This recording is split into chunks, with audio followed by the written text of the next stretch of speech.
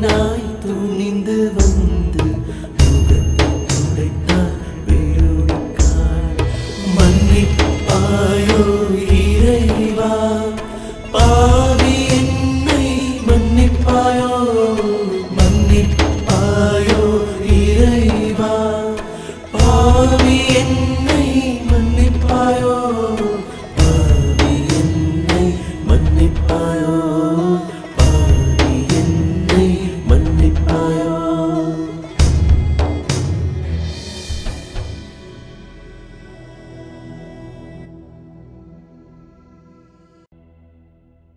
எல்லாம் சந்தோஷமா வெளியே வர ஆரம்பிச்சிட்டாங்க. பெண் விடுதலை ரொம்பவும் நல்லா இருக்கு இப்போ.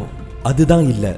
இன்னும் நிறைய பெண்கள் அடிமைப்பட்டு போய் தான் இருக்காங்க. இதுல கொடுமை என்னன்னா மற்றொரு பெண்ணை கேவலப்படுத்தி அந்த இடத்துக்கு அப்படி இல்லைன்னா அந்த பதவிக்கு நாம போகணும்னு நினைச்சு அடுத்த பெண்களை அழிக்கிற குணம் இது இன்னும் சில பெண்களுக்கு இருக்கு. ஆனா இங்க சில பெண்கள் அடிமைப்பட்டு போகாம கடவுளோட துணை கொண்டு வெளியே வராங்க. அது எப்படின்னு பார்க்கலாம். ஆற்றம் பண கஷ்டம். இந்த சமுதாயம் என்னை கேவலமா பேசுது. என்னை அழிக்க திட்டம் போடுறாங்க. உன்னோட சேவையை செய்ய விடாம எனக்கு தடை போட்டு என்னோட பக்கத்துல இருக்கிற நியாயத்தை என்னால சொல்லவே முடியலையே. என் கையை கட்டி போட்ட மாதிரி இருக்கு. வாய் இருந்தா என்னால பேச முடியல. இந்த சமுதாயத்துல என்ன சுத்தி நல்லதையே பார்க்க முடியல. என்னோட துக்கம் என் தொண்டையை அடைக்கிற அளவுக்கு இருக்கு. எனக்கு விடுதலையே இல்லையா? நான் யார்கிட்ட போய் சொல்லுவேன்? 呵呵呵呵呵呵呵呵